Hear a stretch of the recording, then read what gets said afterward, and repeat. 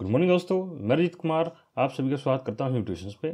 आज हम पढ़ेंगे 11 दिसंबर से 17 दिसंबर तक के वीकली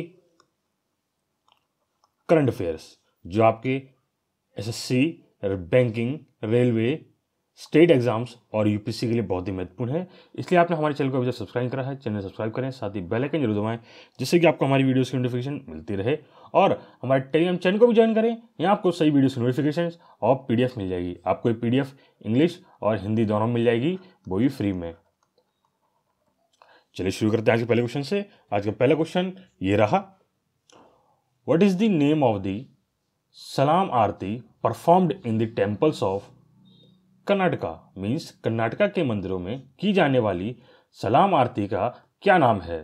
तो इसका सही आंसर आपका है ऑप्शन बी, संध्या आरती। जी हाँ संध्या आरती कर दिया गया है। पहले इसका नाम सलाम सलाम आरती था, जो अब बदल के क्या कर दिया जाएगा? संध्या आरती कर दिया जाएगा। ये आपको बता दें, इसके बारे में जानकारी दे दें। ये सलाम आरती है, इसका सॉरी ये सलाम आरती है, इसका नाम बदल के संध्या आरती कर दिया गया है। और ये कर्नाटका के सभी टेम्पल्स जो होते हैं, जितने भी टेम्पल्स कर्नाटका के अंदर हैं, वो उन सभी में कर दिया जाएगा।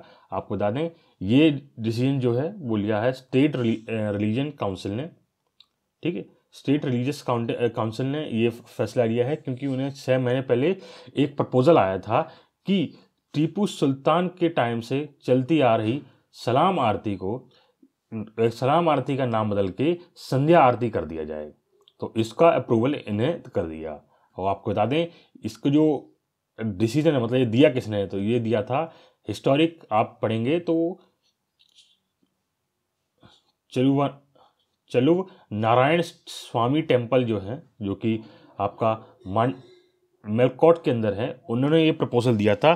मंध्या डिस्ट्रिक्ट की जो एडमिनिस्ट्रेशन है, उनको दिया था। उनसे ये कहा था कि ये आपके जो सलाम आरती है, इसका नाम बदल के संध्या आरती कर दिया जाए। ठीक है? और आपको बता दें, संध्या आरती जो होती है, वो डेली शाम सात बजे की जाती है मंदिरों में, कर्नाटका के अंदर। चलिए शुरू, आगे बढ़ते हैं। Who has made the record for scoring the fastest double century in ODI cricket means cricket one day cricket में सबसे तेज दोहरा शतक बनाने वाले रिकॉर्ड किसने बनाया है? तो आपको बताना है कि दोहरा डबल सेंचुरी किसने मारी सबसे तेज? तो सी आंसर आपका है, ऑप्शन बी, ईशान किशन। जी हाँ ईशान किशन ने सबसे तेज दोहरा सेंचुरी मारी है। आप देखते हैं फ़ोटो ईशान किशन का है। इन्हें सबसे तेज दोहरा शतक मारा है, लगभग 160 की स्ट्राइक रेट के साथ। चलिए आपको दिखा दें, जैसे आप देखते हैं यहाँ पे, ईशान किशन ने 210 रन मारे थे। 131 बॉलों पे और 160.3 की स्ट्राइक रेट के साथ। और बांग्लादेश के खिलाफ ये मारे गए थे। इंडिया में मैच हो रहा था। ठीक है? चलिए आगे बढ़ते हैं। What is the rank of India in the world strongest passport list 2022 means विश्व की सबसे मज़बूत पासपोर्ट सूची 2022 में भारत का रैंक क्या है? तो सही आंसर आपका है ऑप्शन ऑप्शन डी 87 जी हाँ 87 इंडिया की रैंक रही है। इसको बता दें आपको, जो पासपोर्ट इंडेक्स 2022 है, इसे आर्टाउन आर्टाउन कैपिटल्स द्वारा निकाली गई है। इसमें ये लोग वर्ल्ड के सबसे स्ट्रॉन्गेस्ट पासपोर्ट और वीकेस्ट पासपोर्ट की लिस्ट जारी करते हैं। उसमें जो आपका सबसे स्ट्रॉन्गेस्ट पासपोर्ट है, वो इस टाइम यूएई का है। यूएई का है, ठीक है? यूई का सबसे स्ट्रॉन्गेस्ट पासपोर्ट है और वहीं आप देखा जाए तो इंडिया की रैंक इसमें एट्टी सेवन रही है। चलिए आगे बढ़ते हैं। Who has become the first vice president of the federal reserve bank means federal reserve bank के पहले उपाध्यक्ष कौन बने हैं? तो आपका सी आंसर इसमें आए option option B Sushmita Shukla. जी हाँ सुष्मिता शुक्ला जी, आप देखते हैं ये। एक इंडियन ओरिजिन महिला है, जो अमेरिका के अंदर जो फेडरल रिज़र्व बैंक है, उसकी वाइस प्रेसिडेंट बन गई है पहली।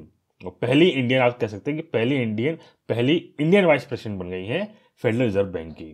आपको जानकारी दें इसके बारे में, जो फेडरल रिज़र्व बैंक है, जो कि न्यूयॉर्क का उसने इंडियन ऑरिजिन सुष्मिता शुक्ला जी को अपॉइंट किया है first vice president and chief operating officer जिसे हम सी कहते हैं, और ये डिसीज़न किसने लिया है? तो ये डिसीज़न लिया है board of governor governor of the federal reserve system ने, जो कि एक बॉडी है फेडरल रिज़र्व सिस्टम की, जो अपॉइंट करता है प्रेसिडेंट और vice president federal reserve bank के, ठीक है? आपको बता दें करंट प्रेसिडेंट जो है, उनका नाम है जॉन सी विलियम्स और इस फेडरल रिज़र्व बैंक को फॉर्म किया गया था 1914 में और ये आपका इसका हेडक्वार्टर है न्यूयॉर्क न्यूयॉर्क यूनाइटेड स्टेट के अंदर। चलिए आगे बढ़ते हैं। Which Indian startup has been awarded the Earthshot award 2022 किस भारतीय स्टार्टअप को अर्थ शॉट अवार्ड 2022 से सम्मानित किया गया है? तो सी आंसर आपका है ऑप्शन ऑप्शन डी खेती। जी हाँ खेती जो है इसे ये स्टार्टअप है तेलंगाना का और इसे अर्थ शॉट से अवार्ड सम्मानित किया गया है। इसे इसका जो मेन काम है ये किस, जो किसान होते हैं जो मतलब जो गरीब किसान हैं किसानों की जो फ़सल है उस फ़सल की पैदावार को बढ़ाने के लिए ये एक स्टार्टअप शुरू किया गया है। तेलंगाना के एक पर्सन ने आपको जानकारी दी इसके बारे में। तो एक हमारी इंडिया की जो greenhouse box greenhouse in a box है, इसको अनाउंस क्या नाम इसको विनर घोषित कर दिया गया है किसके द्वारा?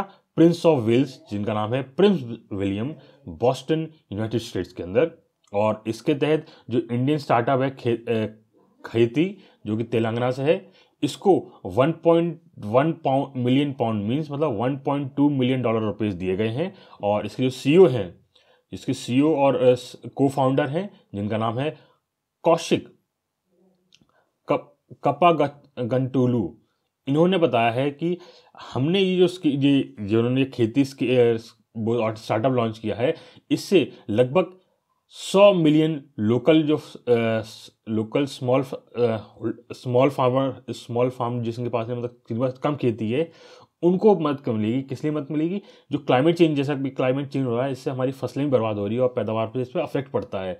तो हम इसको कम करने के लिए ये तरीका अजमाएँगे आपको बता दें, ये टोटल पाँच वो विनर्स रहे हैं जिनको मिला है, जैसे मुकुरु क्लीन स्टोव ये टैकल करता है क्लीन एयर के लिए, यहाँ पे केनिया के अंदर। इसको ये प्राइज़ मिला है, ठीक है? और खेती जो आप बताया इंडिया के अंदर है, ये प्रोटेक्ट करता है रिस्टोरिंग करता है नेचर को इंडिया में। और वहीं the queen the Queensland indigenous women ranger network is helping right मतलब ये जो है ना आपकी जो Queensland indigenous women ranger network ये आपको हेल्प करता है ऑस्ट्रेलिया जो ऑस्ट्रेलिया ओशन है, उसे साफ़ करने के लिए। वहीं नट, नटपराल सर्कल्स सर्कुलर ये सोल्यूशन करता है वेस्ट जो यूके में वेस्ट फैल रहा है, उसको कंट्रोल करता है ये। वहीं the project forty four point zero one ये ओमान का ओमान में किया जा रहा है, किस लिए? जो क्या नाम है सी टू होती है, जो कार्बन डाइऑक्साइड होती है, उसे किसमें चेंज किया जाए? स्टॉल सॉलिड में, जैसे सी टू किसमें होता है? गैस में होता है ना? तो इसे गैस को स्टेटस में चेंज कर दिया जाएगा सॉलिड में, जिससे कि इन्वायरमेंट में सी टू ना फैले। चलिए आगे बढ़ते हैं।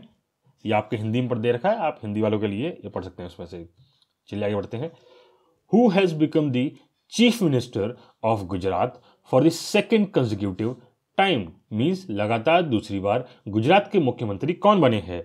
तो सी आंसर आपका है option option D Bhupendra Patel. जी हाँ भूपेंद्र पटेल, ये आपसे फ़ोटो देखते हैं उनका।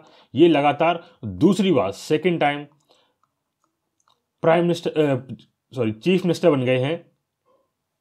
सीएम बन गए हैं गुजरात के।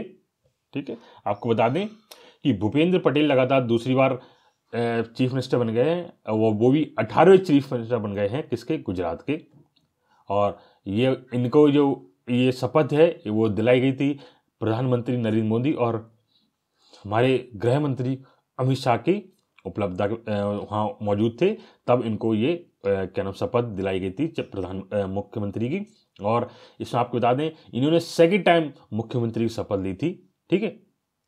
और बता दें इसमें जो भी बीजेपी लगातार गुजरात इलेक्शन में लगातार सा, सात बार इलेक्शन जीती है ये। अब ये समझ लीजिए लगातार लगातार ये सात बार गुजरात में इलेक्शन जीतती जा रही है तो आप मान चलिए कि seven five thirty five thirty five या थर्टी आप मान चलिए तीस साल से लगातार ये गुज, बीजेपी गुजरात में जीतती आ रही है। इन्होंने 182 सीट्स में से 156 सीट्स जीती थी। वहीं गुजरात कांग्रेस ने 17 सीट जीती थी और आपने फाइव सीट जीती थी।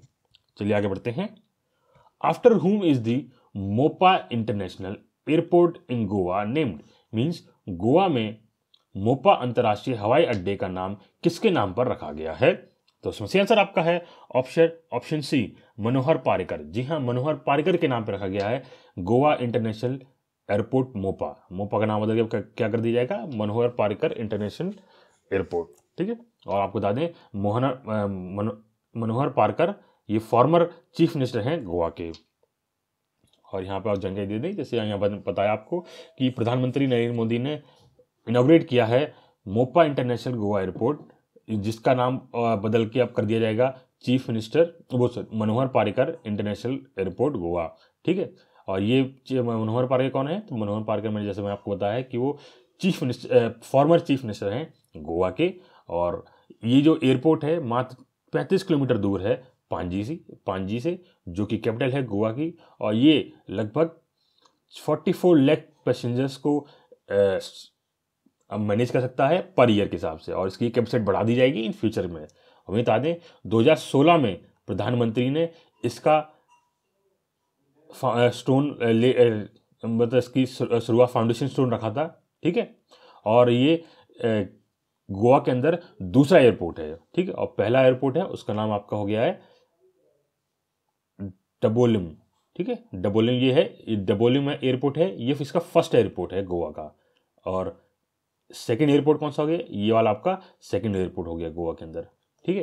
तो आपको बताता है गोवा की कैपिटल आपको बताया, पांजी है। इसके चीफ मिनिस्टर हैं, प्रमोद सावंत हैं और इसके गवर्नर हैं एस श्रीधरन पिल्लई। ठीक है? चलिए आगे बढ़ते हैं। Who has been sworn sworn in as supreme court जज रिसेंटली मीन्स हाल ही में सर्वोच्च न्यायालय के न्यायाधीश के रूप में किसने शपथ ली है? तो आपका सही आंसर आपका है option option D, Dipankar Datta. जी हाँ दीपांकर दत्ता, आप देखते हैं फ़ोटो इनका। इन्होंने अब ये बन गए हैं सुप्रीम कोर्ट के हाई कोर्ट, और सुप्रीम कोर्ट के जज, ठीक है? इन्हें अपॉइंट कर दिया गया है क्या? सुप्रीम कोर्ट के जज अपॉइंट कर दिया गया है। तो आपको बता दें, जो दीपांकर दत्ता है, ये former chief justice of Bombay high court के रह चुके हैं, ठीक है? इनको अब बना दिया गया है जज ऑफ़ सुप्रीम कोर्ट ठीक है? और ये, इनको जो शपथ है, वो किस किसके द्वारा दिया गई तो ये शपथ दिलाई गई है। हमारे जो चीफ जस्टिस ऑफ़ इंडिया है, जिसे हम सी कहते हैं, डी वाई चंद्रचूड़ द्वारा, उन्होंने बताया है कि उन्होंने इस सर क्या नाम है, जो दत्ता जो सेरेमनी होती है ना, टॉप कोर्ट की, कोर्ट के अंदर एक सेरेमनी होती है, उसमें ये जाने क्या नाम उन्हें शपथ दिलाई कि अब वो सुप्रीम कोर्ट के जज बन गए हैं। चलिए आगे बढ़ते हैं। Which has become the first state in India to launch climate change mission means जलवायु परिवर्तन मिशन शुरू करने वाला भारत का पहला राज्य कौन सा बन गया है? तो इसमें सही आंसर आपका है ऑप्शन ऑप्शन बी तमिलनाडु। जी हाँ तमिलनाडु पहला राज्य बन गया है, जो आप समझिए क्लाइमेट चेंज को launch climate change mission launch करने लॉन्च करेगा भारत के अंदर। तो पहला राज्य कौन सा बन गया है? तमिलनाडु बन गया है। आपको बता दें, तमिलनाडु ने अपना जलवायु परिवर्तन शुरू करने का शुरू करने वाला पहला राज्य बन गया है और ये लॉन्च करेगा ग्रीन तमिलनाडु मिशन ठीक है? लास्ट सितंबर इन दिनों अभी जैसे ये तो हो गया, पहले क्लाइमेट चेंज मिशन हो गया, जो तमिलनाडु लॉन्च किया अभी। इससे पहले इन्होंने ग्रीन तमिलनाडु मिशन भी लॉन्च किया था, जो कि सितंबर लॉन्च किया था, और तमिलनाडु वेटलैंड मिशन भी लॉन्च किया था, जो कि अगस्त में किया गया था। तो याद रखिएगा, ये कोई भी एग्ज़ाम से पूछ सकता है कि जैसे क्या नाम ये कौन कौन से मिशन है? तो ये नाम मिशन याद रखिए तमिलनाडु के अंदर शुरू किए गए हैं। किस लिए? क्लाइमेट चेंज के लिए। वहीं आगे बढ़ते हैं। स्पेशल पर्पज व्हीकल जैसे एक और शुरू किया गया था, जैसे Tamil Nadu green climate company TNGCC ने तो जो कि क्या है जो तमिलनाडु के अंदर जो है, वो क्लाइमेट एक्शन को लागू करेगा ठीक है? चलिए आगे बढ़ते हैं।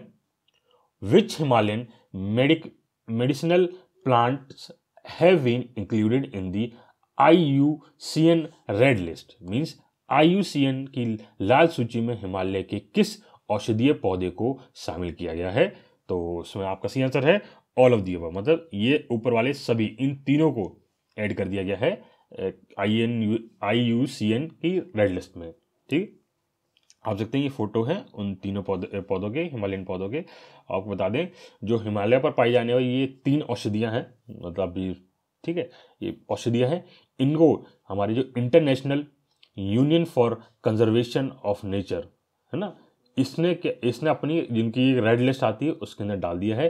क्योंकि ये स्पीसीज जो है ना मतलब संकटग्रस्त मतलब ये आप समझिए कि लुप्त होने कगार पे हैं या फिर इनकी स्पीसीज़ को लगभग लगभग कि ख़त्म होने वाली है। इंडिजियस स्पीसीज जो होती हैं, उसमें, उस लिस्ट में डाल दिया गया है, जिससे कि इनको प्रिजर्व किया जा सकता है।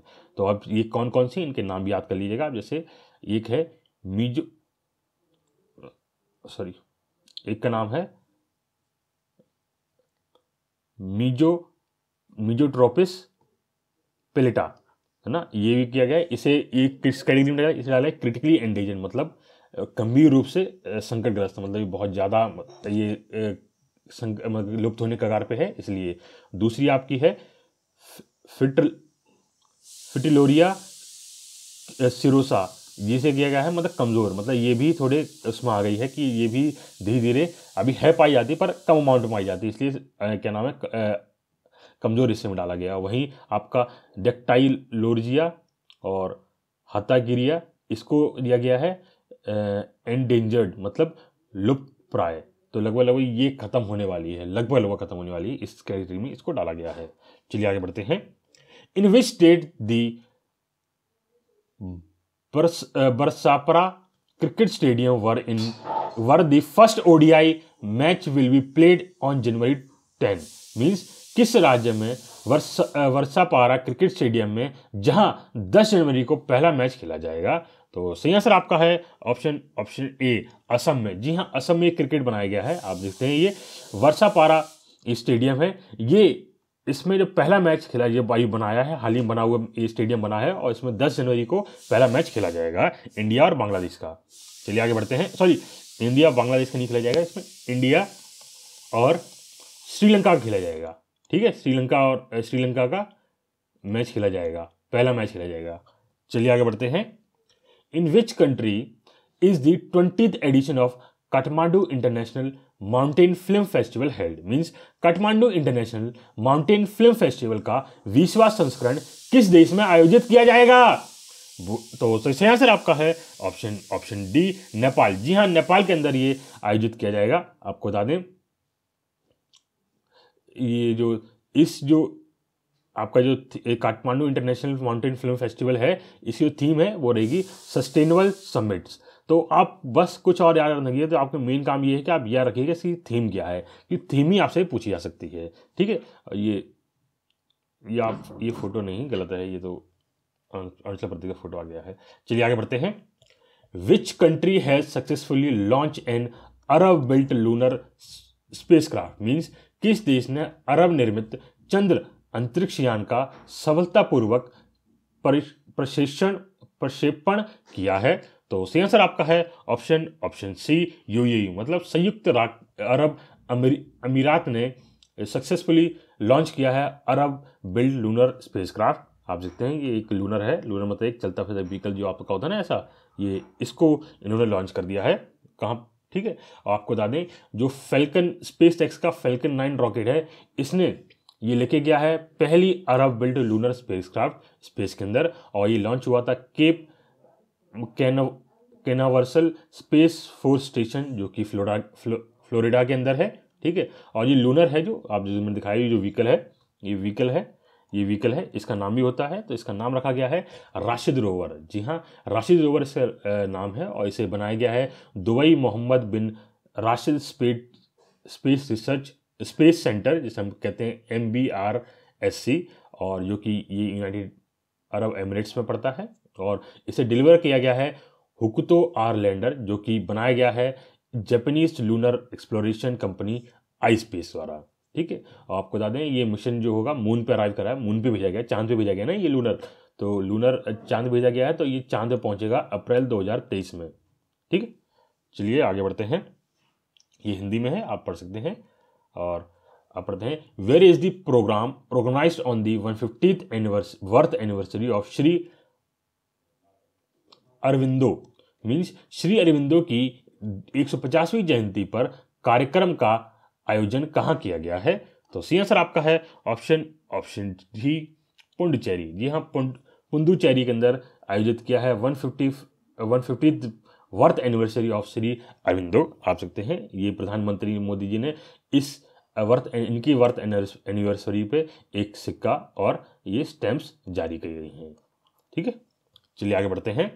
आपको बता दें, जैसे मैं बताया आपको, भारत अपनी स्वतंत्रता का पचहत्तरवा वर्षगांठ मना रहा है मतलब हम अमृत महोत्सव मना रहे हैं अपना, और इसी दिन क्या नाम, श्री अरविंदो को इनकी डेढ़ सौवीं जयंती भी मनाते हैं। इनकी जो जयंती है वो तेरह दिसंबर को मनाई जाती है, ठीक है?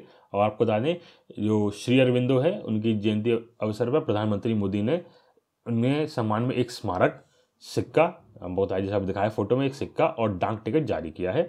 आपको बता दें 15 अगस्त 1872 में पैदा हुए श्री अरविंदो एक दूरदर्शी व्यक्ति थे, जिन्होंने भारत के स्वतंत्रता में, स्वतंत्रता स्वतंत्रता संग्राम में स्थायी योगदान योगदान दिया था।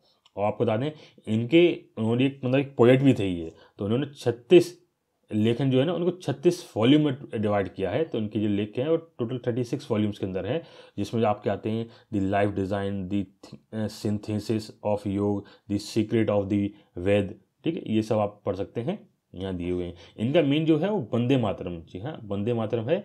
ये तो बता दें, इनकी जो वंदे मातरम जो भारत के पहले राजनीतिक राजनीतिक नेता थे, ठीक है, जिन्होंने वंदे मातरम जो है, वंदे मातरम में खुले तौर पर देश के लिए संपूर्ण स्वतंत्रता के विचार को सामने रखा था। तो वंदे मातर अपने अखबार, इनका जो वंदे मातरम है, ये इनका एक अखबार था, ठीक है? उनका नाम था वंदे मातरम।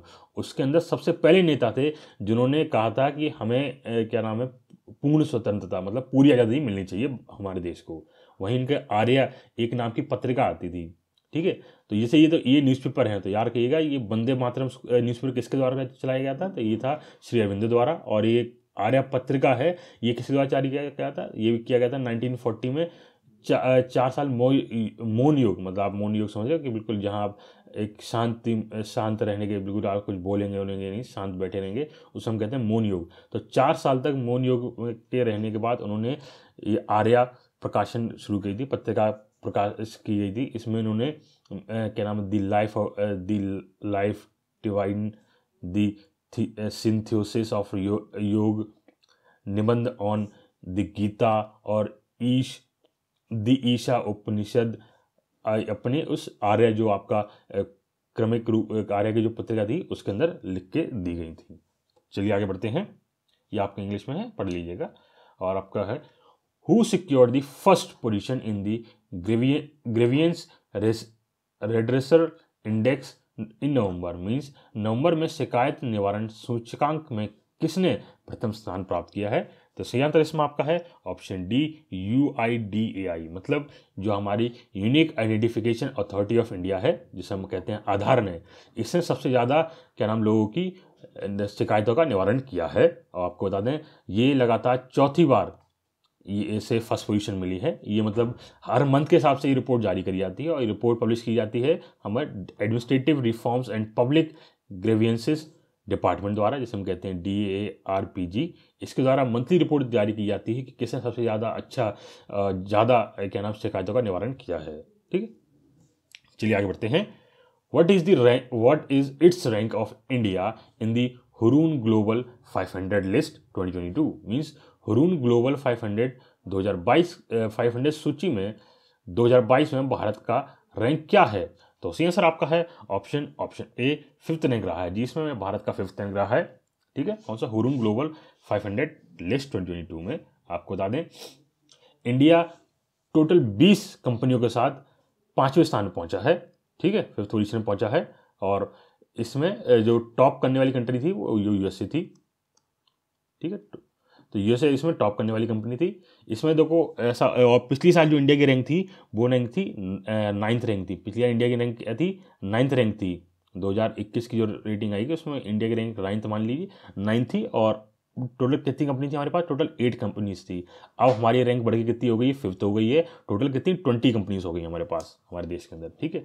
और रूल लिस्ट एक क्या नाम है, जारी की जाती है। उस, उन कंपनियों के इसमें काउंट किया जाता है जो कंपनी नॉन स्टेट होती है मतलब जिसे सरकार द्वारा चलाया ना जाता हो या फिर उसमें सरकार का शेयर ना हो, ठीक है? उसी कंपनी को इसमें लिस्ट किया जाता है। और आपको बता दें इसमें जो कंपनी को है, जो रैंक दी जाती है, उनकी मार्केट मार्केट कैपिटल मतलब उनकी क्या वैल्यू है मार्केट के अंदर और उनकी जो वैल्यूएशन मतलब पूरी कितनी बड़ी कंपनी है या कितनी, क्या नाम है, कितनी बड़ी कंपनी कितनी बड़ी है, उसके हिसाब से दिया जाता है। ठीक है? आपको बता दें यूएसए इसमें टॉप किया है। ठीक है? यूएसए में इसने टॉप किया है तो सेकंड नंबर फ़र्स्ट नंबर पे यूएसए रहा है। यूएसए की जो एप्पल है, जो एप्पल कंपनी आप जैसे आप मोबाइल और घड़ी आप पहनते ही हैं, इसकी सबसे ज़्यादा वैल्यूएशन लगाई गई थी, वो थी 2.4 ट्रिलियन डॉलर वहीं माइक्रोसॉफ्ट सेकंड नंबर पर था 1.8 ट्रिलियन और अल्फ़ाबेट जो कि गूगल की एक पेरेंट पेरेंट कंपनी है ऑफ़ गूगल की, ठीक है, इसे थर्ड पोजीशन में रखा गया था। ठीक है, इसने क्या है अमेजोन को रिप्लेस कर दिया है, क्योंकि अमेजोन थर्ड प्लेस पर था पहले, अब क्या हुआ अमेजोन पे पहुँच गया है फोर्थ प्लेस पर पहुँच गया है यूएसए के अंदर, ठीक है। तो यूएसए तो फ़र्स्ट था ही यूएसए तो फ़र्स्ट था ही यूएसए तो फ़र्स्ट है ही है यूएसए फ़र्स्ट है यूएसए फ़र्स्ट है, और सेकंड नंबर पे है चाइना ठीक है? चाइना की टोटल थर्टी फाइव कंपनीज़ है चाइना के अंदर, ठीक है? और वहीं थर्ड नंबर पे है जापान और उसके बाद क्या है? यूके फोर्थ नंबर पे है। और इंडिया और कनाडा दोनों क्या है? फिफ्थ पोजीशन पे है। टोटल के बाद दोनों के पास कितनी है? टोटल ट्वेंटी कंपनीज़ हैं। तो इन्हें फिफ्थ पोजीशन मिली है, ठीक है? इन्होंने एट और तीन कंपनीज़ ऐड करी हैं रिस्पेक्टिवली और वहीं क्या नाम है? फ्रांस और जर्मनी ने उसके बाद जगह ली है, ठीक है? कौन सी? सिक्स पोजीशन में। चलिए आगे बढ़ते हैं। Which medal has Manu Bhaker won in national shooting championship means राष्ट्रीय निशाने निशानेबाजी चैंपियनशिप में मनु भाकर ने कौन सा पदक जीता है? तो सी आंसर आपका है option option C gold medal जी हाँ गोल्ड मेडल जीता है। इन्हें आप देख सकते हैं फ़ोटो ये हमारी ओलंपियन जो है ओलंपियन मनु भाकर ने ईशा सिंह जो तेलंगाना से बिलोंग करती तेलंगाना से थी, उन्हें हराकर जूनियर महिला एयर पिस्टल जीती है। और आपको बता दें, भोपाल में आयोजित हो रही है पिस्टल स्पर्धा मतलब आपकी सामने पिस्टल टूर्नामेंट आयोजित हो रही है, इसका कौन सा? सिक्सटी सिक्सटी फाइव राष्ट्रीय निशानेबाज चैंपियनशिप क्या नाम, चल रही है, कौन सी? कहाँ पे? भोपाल के अंदर चल रही है तो याद रखिएगा, बहुत इंपॉर्टेंट है। चल रही है, ठीक है, और इसमें बताइए, कई सारे मतलब कैटेगरीज में होता है, जैसे टेन मीटर एयर पिस्टल में, ट्वेंटी फाइव मीटर में twenty five metre centre fire pistol जो कि पुरुष के लिए होता है जूनियर जूनियर्स में, युवाओं का हुआ था, उप युवाओं का हुआ था, इन सब में ये सब कैटेगरी के मतलब पाँच कैटेगरी के अंदर मैच हुआ था, इन सब में अलग अलग विनर रहे। जैसे आप याद रखेंगे तो दस मीटर एयर पिस्टल में, जो कि फीमेल में है, उसमें दिव्या टी एस, जिसने इन्होंने गोल्ड मेडल जीता वहीं जूनियर में मनु भाकर, जैसे मैंने बताया आपको, इन्होंने गोल्ड मेडल जीता है। वहीं उप युवा में जो कह सकते हैं, सब यंग से कहते हैं, उन्होंने उसमें अगम रंजीत कौर ग्रेवाल जो है, उन्होंने गोल्ड मेडल जीता है। ठीक है? और वहीं युवा के अंदर देखा जाए, यंग के अंदर देखा जाए तो ताल संगवान जो है, इन्होंने गोल्ड मेडल जीता है। वहीं आप देखेंगे twenty five metre centre fire pistol, जो कि मेल का हुआ था, उसमें विजय कुमार ने क्या है, गोल्ड मेडल जीता है। तो याद कर लीजिएगा, बस आप इसमें से जितने भी गोल्ड मेडलिस्ट हैं, उनके नाम याद कर लीजिएगा, बहुत इंपॉर्टेंट है। एग्ज़ाम में आपसे किसी एक का ज़रूर पूछा जाएगा। चलिए आगे बढ़ते हैं। आपसे इंग्लिश में दे रखा है, इंग्लिश में आप पढ़ सकते हैं। तो हमारी पीडीएफ अवेलेबल कर दी जाएगी आपको, टेलीग्राम चैनल पर वहाँ से आप डाउनलोड करके उसे पढ़ सकते हैं। चलिए आगे बढ़ते हैं। Where was the Pramukh Swami Maharaj century centenary festival organise means Pramukh Swami Maharaj शताब्दी महोत्सव का आयोजन कहाँ किया गया था तो आपके ऑप्शन है तो सी आंसर आपका है ऑप्शन बी में अहमदाबाद जी हाँ अहमदाबाद के अंदर ये आयोजित किया गया था ठीक है आप ये यहाँ पर आप पढ़ सकते हैं हमारे प्रधानमंत्री नरेंद्र मोदी और राष्ट्रपति द्रौपदी मुर्मू जी दोनों लोग इस फेस्टिवल में आए थे और इस फेस्टिवल में बाहर अलग देशों से भी लोग इन्वाइट किए, जैसे UK US African nations Australia and UAE से भी लोगों को इनवाइट किया गया था। और ये मतलब एक महीने लंबा चलने वाला फेस्टिवल है, जो कि पंद्रह दिसंबर से पंद्रह जनवरी तक चलेगा, दो हज़ार तेईस तक अहमदाबाद के अंदर। ठीक है? बाकी यहाँ जानकारी दे रखी है, आप पढ़ सकते हैं। चलिए आगे बढ़ते हैं। Who has created the national record in ten metre breaststroke at F I N A world swimming championship 2022 means world swimming championship 2022 में 100 मीटर ब्रेक स्ट्रोक में राष्ट्रीय रिकॉर्ड किसने बनाया है? तो सी आंसर आपका है ऑप्शन ऑप्शन डी चाहत अरोरा, जी हाँ चाहत अरोरा जी, आप छोड़ सकते हैं इन्होंने बनाया है नेशनल रिकॉर्ड बनाया है पूरे वर्ल्ड स्विमिंग चैंपियनशिप में, ठीक है? आपको बता दें, जो इंडियन स्विमर है चाहत अरोरा, इन्होंने नेशनल रिकॉर्ड बनाया है सौ मीटर सौ मीटर के अंदर। वुमेंस नहीं आएगा वुमेंस में काउंट नहीं होता सौ मीटर ब्रेस्ट स्ट्रोक के अंदर, ठीक है? और कहाँ पे? F I N F world swimming championship 2022 में मेलबर्न ऑस्ट्रेलिया के अंदर ये रिकॉर्ड बनाया है, ठीक है? इनका जो रिकॉर्ड रहा है, वो रहा है एक मिनट तेरह second thirteen point three one three second का इन्हें रिकॉर्ड वर्ल्ड रिकॉर्ड बनाया है नेशनल रिकॉर्ड बनाया है, ठीक है? और एफ़ आई फुल फॉर्म क्या है? एफ़ आई फुल फॉर्म है फेडरेशन इंटरनेशनली डी नेस्टेशंस ठीक है? ये फुल फॉर्म है एफ़ आई की। चलिए, और ये आपको बता दें, कौन सा संस्करण, ये सिक्सटीन एडिशन हो रहा है वहाँ पे, ठीक है? चलिए आगे बढ़ते हैं। Which initiative of India has been included in the top ten initiatives of world by the United Nation means संयुक्त राष्ट्र द्वारा भारत की किस पहल को विश्व की शीर्ष दस पहलों में शामिल किया गया है? तो उसका सही आंसर आपका है ऑप्शन ऑप्शन सी नमामि गंगे प्रोजेक्ट जी हाँ नमामि गंगे जो प्रोजेक्ट है, उसको यूनाइटेड नेशन एनवायरनमेंट प्रोग्राम के अंदर टॉप टेन इनिशिएटिव्स में के अंदर ऐड किया गया है। ठीक है? आप बता दें, जो यूनाइटेड नेशन है, इसने नमामि गंगे को सेलेक्ट कर लिया है top ten world restoration flagship के अंदर। ठीक है? और इसके जो हमारे ये जो अवार्ड है, ये अवार्ड दिया गया है ना तो ये अवार्ड दिया गया है, दिया गया है जी अशोक कुमार, जो कि डायरेक्टर जनरल हैं नमामि गंगे प्रोजेक्ट के। और ये कहाँ पर हुआ था? ये हुआ था fifth conference of the convention of on biodiversity जिसे हम कहते हैं C B C Montreal Canada के अंदर हुआ था। वहाँ पे ये अवार्ड दिया गया था किसे नमामि गंगे प्रोजेक्ट को। तो इसे किसने लिया है? तो ये रिसीव किया गया है जी अशोक कुमार द्वारा, जो कि इसके डायरेक्टर जनरल हैं, याद रखिएगा। ठीक है? आपको बता दें, नमामि गंगे का नाम 150 इनिशिएटिव्स में से चूज़ किया गया था, जो कि 70 देशों से आए थे। ठीक? चलिए, और आपको बताएँ, इसमें जो है, क्या नाम है ये सेलेक्ट किए जाए गए हैं किसके अंदर? United Nation decade on ecosystem restoration ठीक है? ये पूरी यूनाइटेड नेशन की बॉडी है। इनके द्वारा क्या नाम है सेलेक्ट किए जाते हैं इन सभी को और साथ ही इन्हें हेल्प की जाती है। यूनाइटेड नेशन एनवायरनमेंट प्रोग्राम मतलब यूएनईपी और साथ में United Nation food and agriculture organisation F F A O के द्वारा इन सब के द्वारा क्या भी इन्हें कोऑर्डिनेट किया जाता है। चलिए आगे बढ़ते हैं। Tandur red gram belongs to which state got G I tag means Tandur gram किस राज्य से संबंधित है जिसे जीआई टैग मिला है।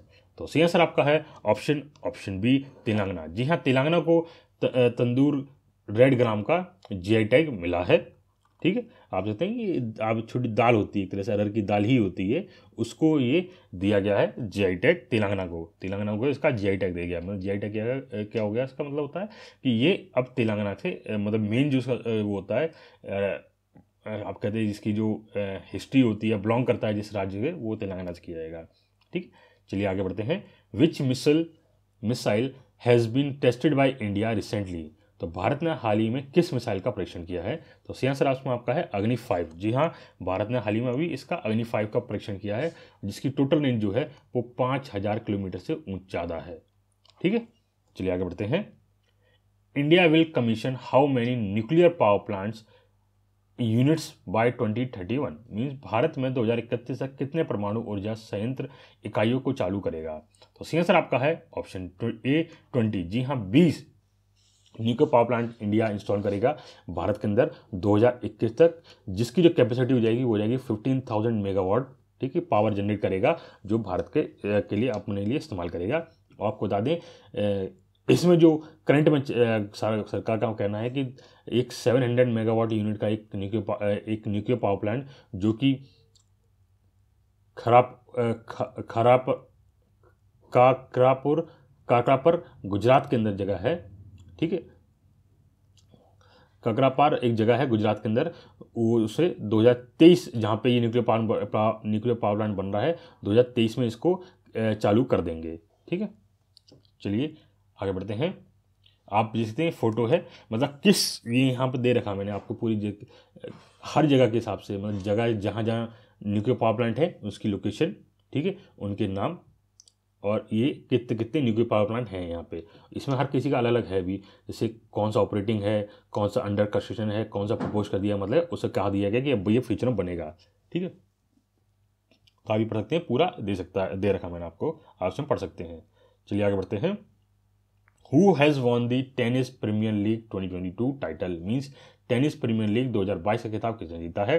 तो सी आंसर आपका है option option C Hyderabad Strikers जी हाँ हैदराबाद स्ट्राइकर्स ने जीता है टेनिस प्रीमियर लीग 2022 का टाइटल ठीक है? आप देखते हैं ये टीम उनकी लीग आपको बता दें, जो हैदराबाद स्ट्राइकर्स हैं, इन्होंने ये चैंपियनशिप जीती है और ये, जो कि ये fourth tennis premier league league हुआ था, टी ऐसे कहते हैं टी पी एल भी कहते हैं। जैसे हमारा आई पी एल होता है उसी तरह से एक टेनिस प्रीमियर लीग भी होता है, जो कि चार साल से लगातार किया जा रहा है और ये चौथा संस्करण था, ठीक है? कहाँ पे होता है ये होता हमारा पुणे, महाराष्ट्र के अंदर हुआ था, ठीक है? इसमें क्या हुआ हैदराबाद स्ट्राइकर्स ने मुंबई लॉयन को, लॉयन आर्मी को हरा के एक फोर्टी वन, थर्टी टू से हरा के ये क्या नाम है, प्रीमियर लीग जीत ली है और लगातार इन्होंने ये दूसरी बार ये प्रीमियर लीग जीती है किसने? हैदराबाद स्ट्राइकर्स के अंदर। ठीक? चलिए आगे बढ़ते हैं। Which airline has won the safety performer of the year award at the G M R Delhi airport means G M R Delhi हवाई अड्डे पर किसने एयरलाइन ने, किस एयरलाइन ने safety performer of the year पुरस्कार जीता है? तो सी आंसर आपका है option option D spice jet जी हाँ स्पाइस जेट ने ये अवार्ड जीता है। आप देखते हैं। ये the performance that means the most to us इसका नाम जो नाम क्या है? Safety performer of the year और ये किया गया, किसके द्वारा दिया गया है? दिल्ली इंटरनेशनल एयरपोर्ट लिमिटेड द्वारा दिया गया है। चलिए, आज के लिए बस इतना ही रखते हैं। अगर आपको वीडियो अच्छी लगे, वीडियो को लाइक करें, चैनल को सब्सक्राइब करें। साथ ही, वीडियो को शेयर ज़रूर करें, जिससे बाकी लोगों के पास जा सके। जय हिंद।